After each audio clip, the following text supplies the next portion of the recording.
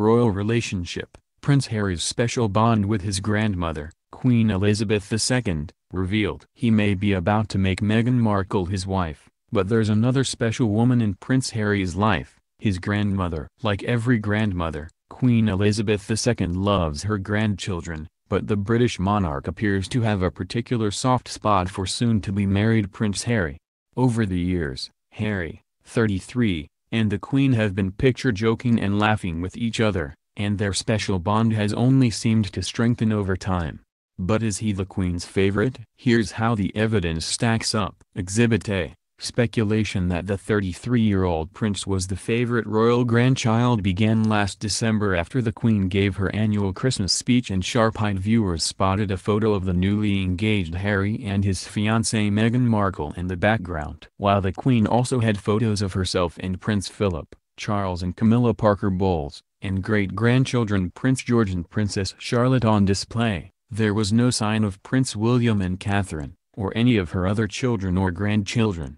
The Queen's relationship with Prince William is thought to be more serious because she's preparing him to be future king. However, as it's unlikely Harry will ever sit on the throne, he's now sixth in line having just been bumped down by the birth of Prince Louis, they are able to be more relaxed around each other.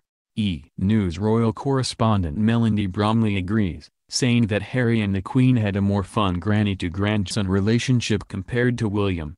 William is going to become king, so there has been a very close relationship between William and the Queen. It's half family and half business, Ems Bromley told News Corp Australia. There are things that she's teaching William that she also taught her son, Prince Charles, as far as the protocol and what's expected of him.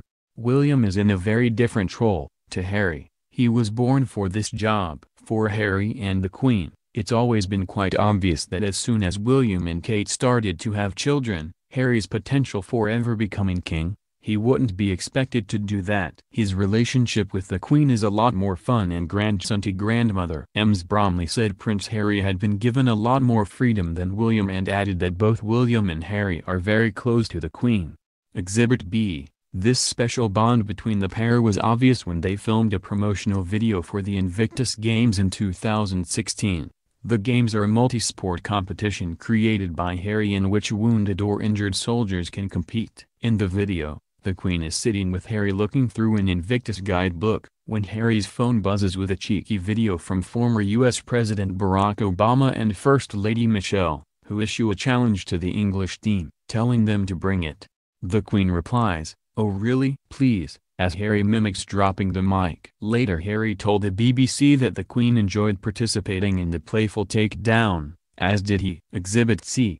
Harry's wife-to-be, Meghan Markle, has spoken about the special relationship Harry shares with his grandmother. To be able to meet her through his lens, not just with his honor and respect for her as the monarch, but the love that he has for her as his grandmother, all of those layers have been so important for me so that when I met her, I had such a deep understanding and, of course, incredible respect for being able to have that time with her. She's an incredible woman, she said. Meghan was quickly welcomed into the royal family, even scoring an invite to the family's Christmas Day church service and dinner, breaking a long-standing tradition. Previously only royal spouses could attend the event at Sandringham. Exhibit D. Last month, Harry gave a glimpse of his cheeky relationship with his grandmother by cracking a joke at the Queen's expense during her 92nd birthday concert. Tonight we are celebrating the Queen's birthday but your majesty, if you do not mind me saying, you are not someone who is easy to buy gifts for, he joked. Not many people would dare make fun of the Queen. Exhibit E. Some argue the fact that the Queen will attend Harry's wedding is another sign she is willing to make an exception for her favorite grandchild. The Queen, who is the head of the Church of England, was a no-show at her son Prince Charles's wedding to Camilla as both had previously been married and according to church teachings marriage is for life. It was reported in the Telegraph that the Queen felt she had to put her role with the church before her role as a mother. Meghan is also a divorcee, however the Queen has given the young couple her blessing and will be there on their big day.